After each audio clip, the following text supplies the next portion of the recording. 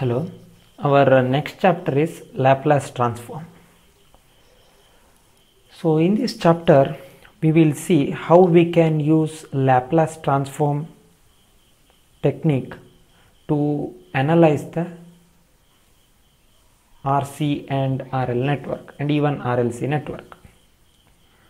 So, we are not going to discuss mathematics aspect of the Laplace transform. We will only see how we can use that tool, a mathematical tool, to analyze the electric circuit. Okay. So, it is a mathematical tool that transfers a function in a time domain to a function in complex frequency domain. So, we have seen that our all equation they are nothing but time domain equations that will transfer into a complex frequency domain equations. And we will analyze the circuit in the complex frequency domain. Okay? So here what is the basic definition of laplace transform? So f of s is nothing but 0 minus to infinity. Here we will use one sided laplace transform so that's a 0 minus to infinity. And again 0 minus we are considering uh, just to consider the transition from 0 minus to 0 plus. That moment we want to catch. So that's why we are using 0 minus. And e power minus st where s is a complex frequency. Um, and f of t dt. Okay so here if you want to take inverse laplace transform the equation is f of t is 1 by 2 pi j integration from uh, sigma naught minus j infinity to sigma naught plus j, j infinity e power st f of s ds where sigma naught is a value that denotes the convergence of the Laplace integral okay? But you no need to worry about the second equation. We will use lookup table method so that means we will have the table we will first find Laplace transform of commonly used time functions. And then then we will use the lookup table to find the inverse Laplace transform. Okay we will not use this equation. We can directly from the lookup table we will find the inverse Laplace transform. Usually it is denoted like this f of t and its Laplace transform is f of s. So this symbol is used. And it's also uh, f of s is l this symbol is used that means Laplace transform of f of t Similarly, f of t is inverse Laplace transform is denoted like this L minus okay of f of s.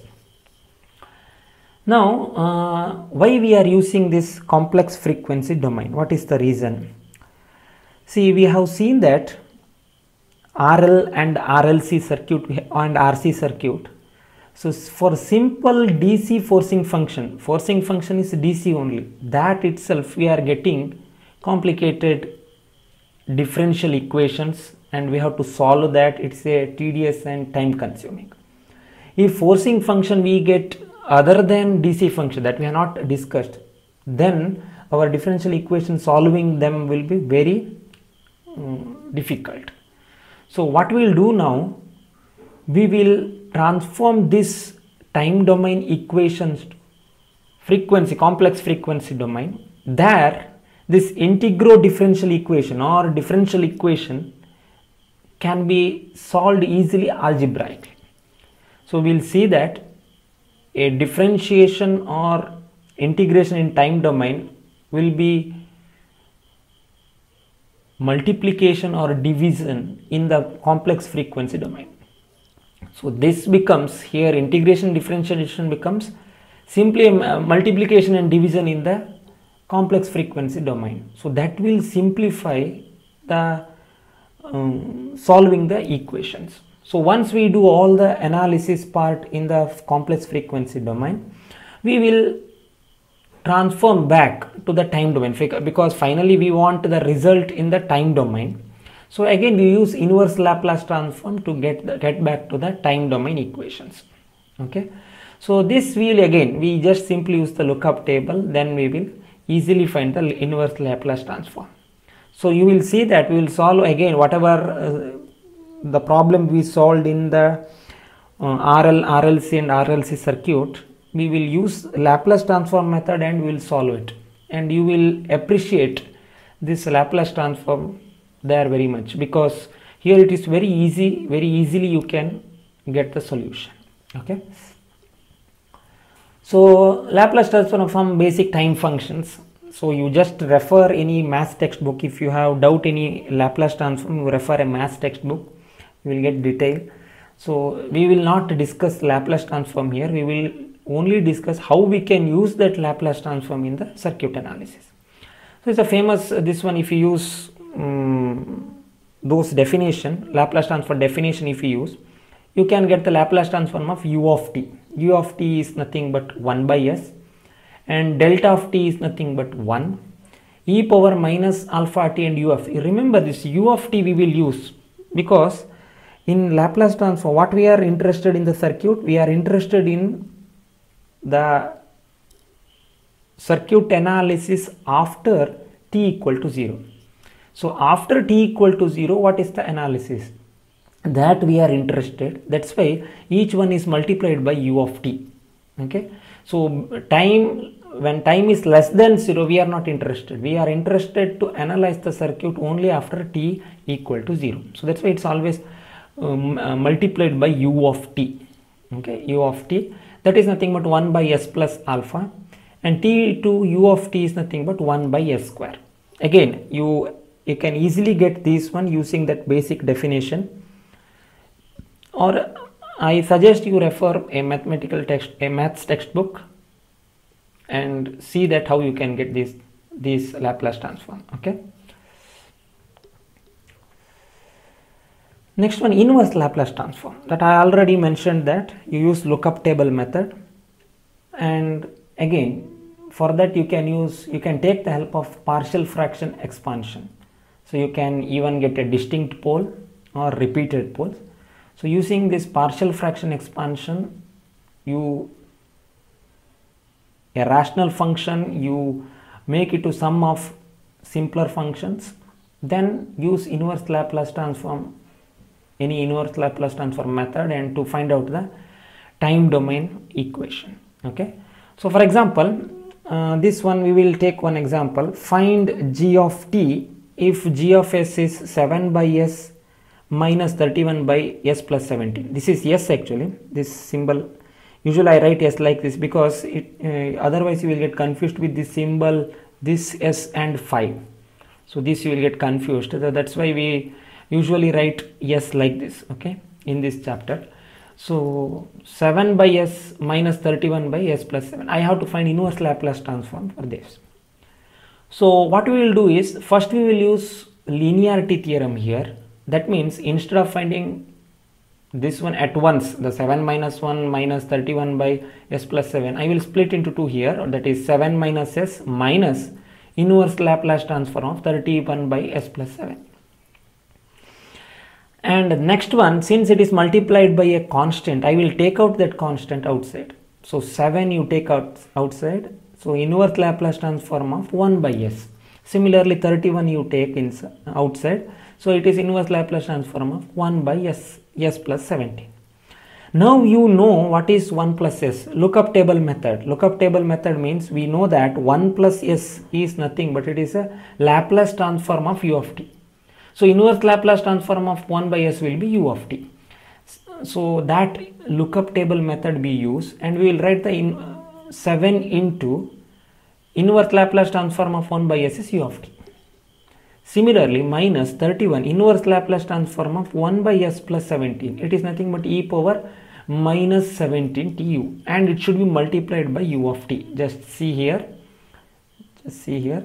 e power minus alpha t into u of t is nothing but 1 by s plus alpha. Okay.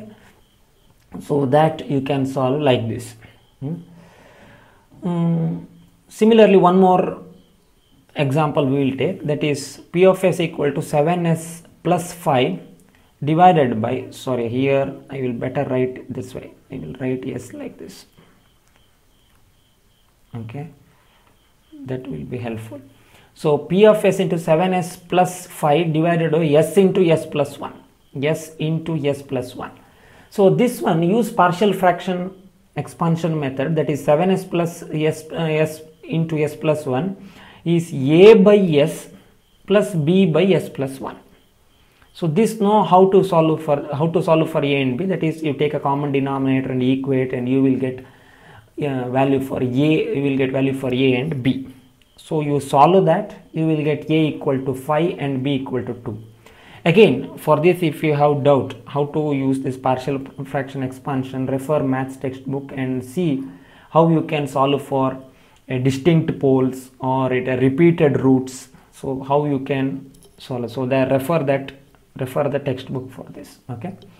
So it will be 7s plus 5 divided by s into s plus 1 will be 5 by s the value we will substitute here 5 by s and 2 by s plus 1. Now you take inverse Laplace transform. So 5 you take outside 1 by s is nothing but u of t. Similarly 2 you take outside 1 by s plus 1 will be e power minus t into u of t. Now let us see a few basic theorems of Laplace transform in that the two theorem which often we use in the circuit analysis. One is time differentiation theorem and another one is time integration theorem. So time differentiation theorem means Laplace transform of dv by dt equal to s v of s minus v of 0 minus. So you use basic definition of Laplace transform and integration by parts if you do you will get this solution. For this you can re refer any engineer maths textbook or if you refer Hayt or Hayt or Van Valkenburg textbook that is network analysis textbook also you can refer. You will find that one. I think you have this one you already studied in the uh, first or second semester in the maths okay so Laplace transform of dv by dt equal to s v of s minus v of 0 minus where v of 0 minus is initial value of v of t. So if initial value is 0 then simply Laplace transform of dv by dt equal to svs. What is the advantage? A differentiation in time domain becomes multiplication in s domain. So this simplifies the uh, solving the electric circuits. Okay. So where we can use this application, this uh, theorem. So if you are using KVL in that you have to find voltage across inductor then you will get this equation V into L di by dt. So if you want to take the uh, Laplace transform of this then we should know the Laplace transform of di by dt. So there we can use this equation. Okay, there we can use this equation. Similarly Kirchhoff's current law if you use and try to find the current through capacitor then this is the equation i into i equal to c dv by dt.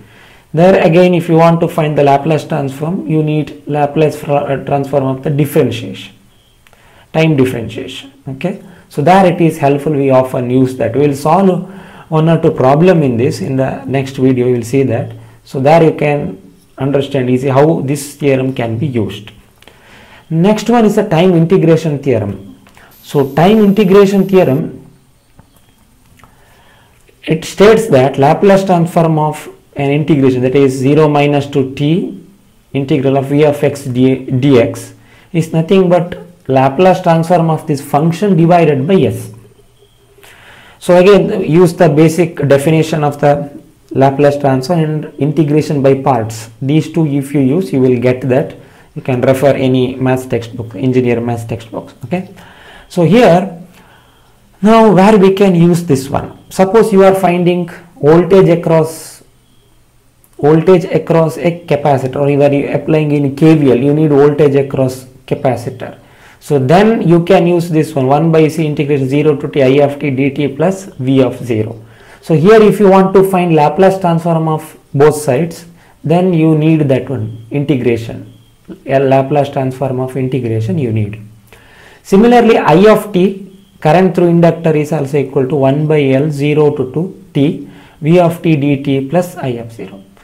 So this is the application where we are going to use this time integration theorem and time differentiation theorem. So in next video when we solve a problem we will use initially this Uh, th- using this theorem and we'll try to find Laplace transform. Next one we can directly write without writing differential equation. Directly we can write in the S domain equations okay? So that we will see later okay? This is the brief introduction about Laplace transform